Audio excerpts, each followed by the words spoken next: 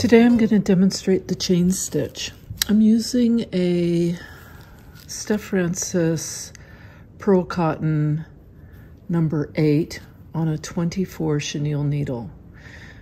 When you have a 8 weight thread and you're doing a non-wrap stitch, use a chenille needle. So this is a 24 chenille, 8 weight pearl cotton.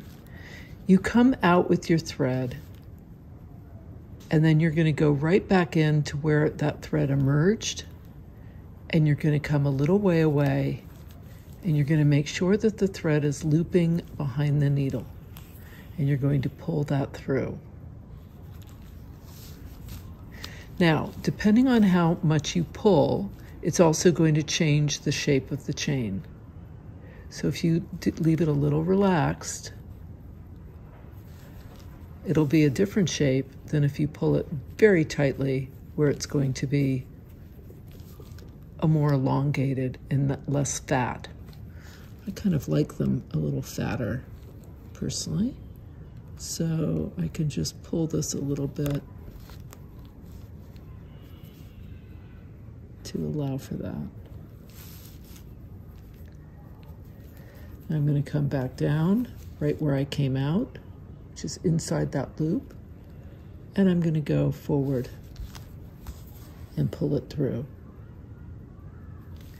If you're right-handed, it's exactly the same. You're going to go down into your, where your thread emerged. And you're going to come out a little ways. You're going to make sure that that thread is looped around your needle and you're going to pull it through.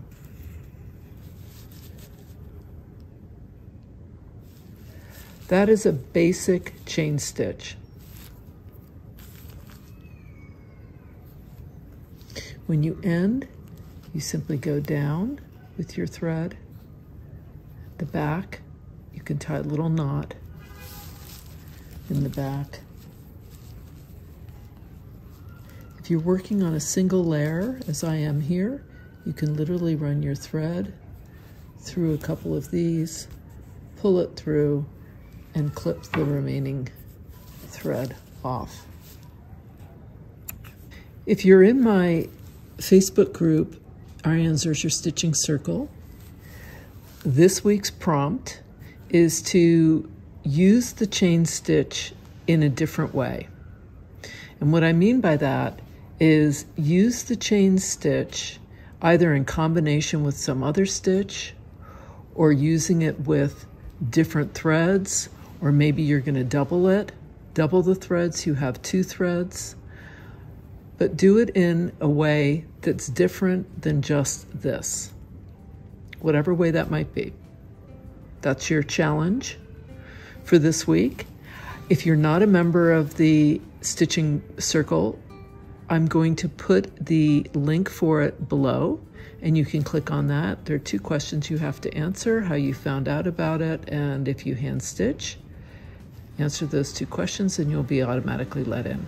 I hope you enjoyed this video on the chain stitch and until next time, let's keep stitching together.